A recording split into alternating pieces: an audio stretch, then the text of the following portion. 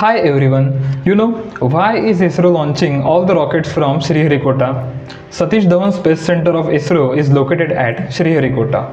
There are two reasons behind it. The first is that it is located near the equator of the earth and as we know that the speed of rotation of the earth near the equator of the earth is more than at the poles.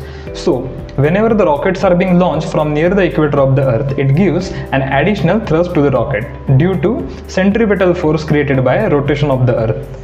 The second reason is that it is located on a barrier island. It is surrounded by water from both the sides. On east side there is a Bay of Bengal and on west side there is a Pulicat Lake.